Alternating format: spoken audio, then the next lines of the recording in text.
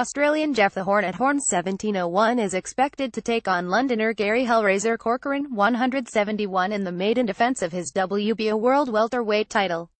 Promoter Bob Arum, who co-promotes Horn, has suggested that a WBO World title fight will take place at the Suncorp Stadium in Brisbane on Friday the 15th of December, televised live on ESPN. Brisbane's Horn, 29, won the WBO belt last July with the highly controversial decision against eight-weight world champion Manny Pacquiao.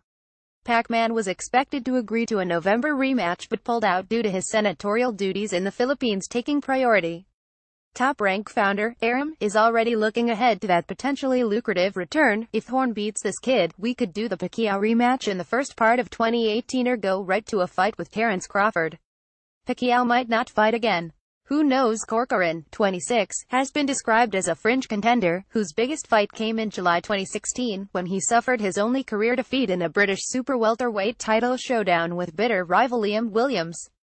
Managed by Frank Warren and trained by Frank Graves at the Peacock Gym in London, he dropped down a division after that sole loss and recently edged past unbeaten prizefighter winner Larry Ekundayo by split decision on July 8 to claim the vacant WBO Intercontinental welterweight strap.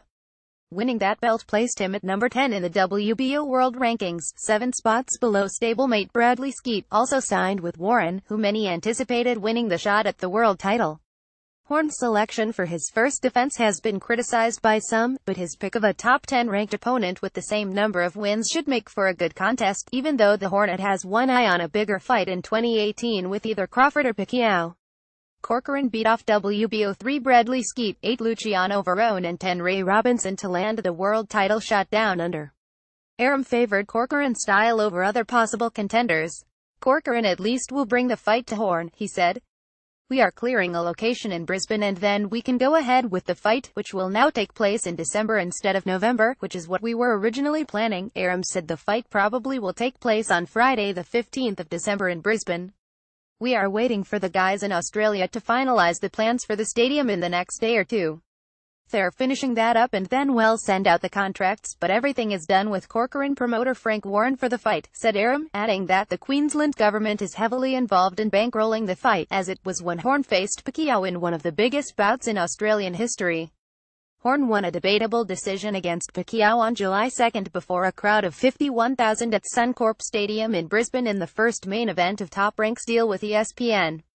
Pacquiao, boxing's only eight-division world champion, nearly knocked out the 29-year-old home fighter in the ninth round but couldn't put him away.